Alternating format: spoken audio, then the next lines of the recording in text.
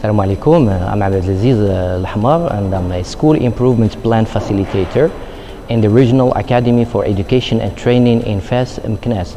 Um, being a school improvement plan facilitator is not an easy task at all, but with the support and backing of Millennium Challenge Account Morocco and MCC, we were able to go through this uh, experience. We had various professional development trainings, various workshops in different fields, especially uh, the field of school improvement plan and many other uh, um, associated fields.